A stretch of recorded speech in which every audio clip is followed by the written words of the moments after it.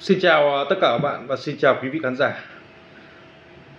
Cái ông chủ trì tuổi ba vàng bây giờ phải nói thật là ông ấy phát ngôn ẩu, lợi dụng tâm linh kinh khủng.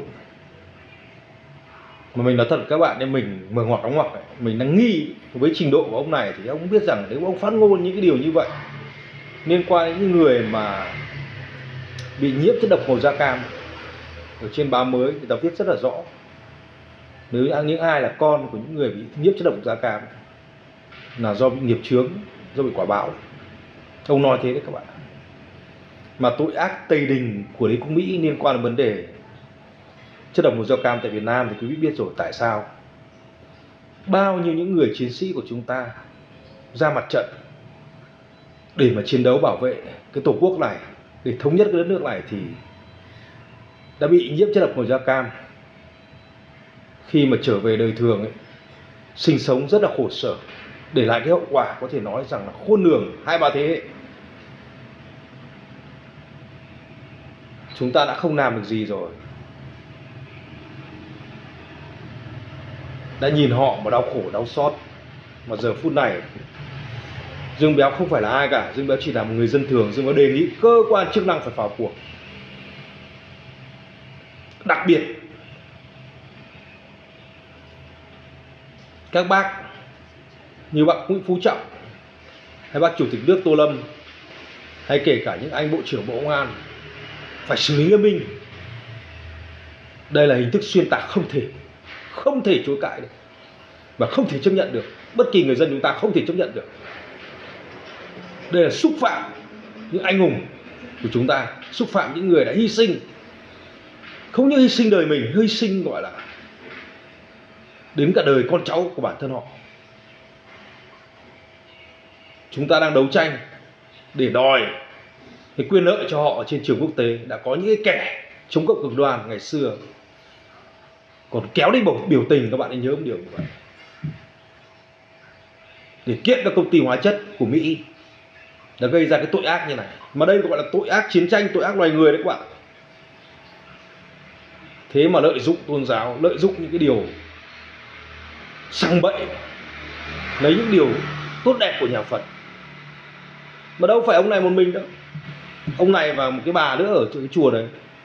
Liên tục liên tục các bạn không biết bao nhiêu năm nay làm điều sằng bậy để lừa quần chúng, lừa những người có đức tin để kiếm trác, để lợi dụng kiếm trác. Không những thế, có rất nhiều cựu quan chức của Việt Nam chúng ta cao cấp còn ủng hộ, còn lên thanh minh, thanh ngao xong bắt đầu là còn tuyên bố là ảnh hưởng đến gọi là mà đặc biệt các bạn ạ toàn những cái kẻ đấy, có chức vụ liên quan đến vấn đề quốc tế cơ trong hội Phật giáo Việt Nam mình. Dù nói thẳng nếu mà nhà nước mình không xử lý những cái vụ như này nghiêm minh phải cho đi tù. Đuổi ra khỏi gọi là là hội Phật giáo Việt Nam thì chúng ta không bao giờ lấy lại niềm tin của người dân đâu. Chính vì điều đó mới có hiện tượng thích minh tuệ đấy. Nhà nước phải nghiêm minh, rồi kêu gọi mọi người phải đấu tranh mạnh mẽ. Chúng ta nhìn những điều bất bình này mà chúng ta đấu tranh được, ảnh hưởng thực sự đến những người anh hùng của Việt Nam chúng ta. Những cái gì ngày hôm nay chúng ta đang ngồi đây này, đang sử dụng trên không gian mạng và chính bản thân của nó ấy, đang ngồi mà thuyết giảng ấy, để mà lợi dụng kiếm tiền ấy, được sống trong hòa bình lợi dụng kiếm tiền ấy, để ở trong những cái vật chất xa hoa của cái, của cái ngôi chùa ba vàng như vậy ở Quảng Ninh ấy.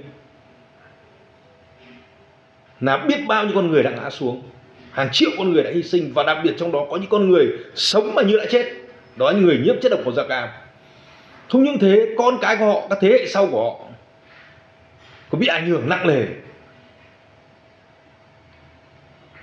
mà bọn chúng dùng những cái ngôn từ lợi dụng Phật pháp, lợi dụng tôn giáo như vậy, tự do tôn giáo.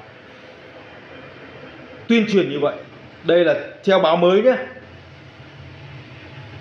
Dựa trên bài của báo mới. Chúng ta không chấp nhận được. Dương án, dương béo lên án mạnh mẽ cái điều này. Đợt trước đã lừa đảo rồi, liên quan gọi hồn vân vân vân rồi, kiếm tiền kiếm trác rồi, trong cúng dường rồi xong khất thực khất thực thì làm gì? Lấy phong bì. Lừa đảo đến vậy. Đuổi trẻ con không được chia quà. Toàn những hành vi như vậy mà tại sao? Lừa đảo. Khất thực gì? Làm cái trò tròi quanh cái chùa mình. Bật dậy. Cái loại này không thể chấp nhận được. Đây là loại ma cô. Chúng ta không thể là gọi mà bao nhiêu người mê muội. Hè nào tổ chức khóa tu cho các trẻ, trẻ nhỏ.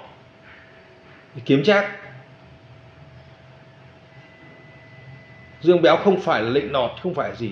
Chẳng có cái đảng phái nào, chẳng có cái hội Nhóm chính trị nào, cũng chẳng có cái tôn giáo nào Như ở Việt Nam chúng ta, ngoài cái đảng Cộng sản Việt Nam thôi.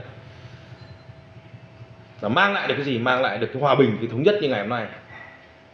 Và cùng với nhân dân yêu nước Cùng những người dân dân chân chính của Việt Nam chúng ta thôi. Thù trong giặc ngoài. Giải phóng xong thì Chúng nó cô lập, nó lấy hết cớ này cớ lọ nó cô lập. Biên giới Tây nam thì bị cái bọn bốn bốt. Xong cùng bao nhiêu cái thế lực thù địch của chúng ta nó dồn vào này. Phát triển kinh tế thế nào được? Xong đến lúc mở cấm vận thì mở cấm vận hết đâu mở cấm từng phần. Đến giờ hôm nay thì có được tí thì bắt đầu được tự do bắt đầu mọi người có cái cơm ăn áo mặc để nghĩ đến cái tâm linh một tí để cho ăn ăn nhàn, để cho đầu óc của thanh tịnh. Thì chúng có lợi dụng, một ma giáo lợi dụng tôn giáo để nó nó nó kiếm trác.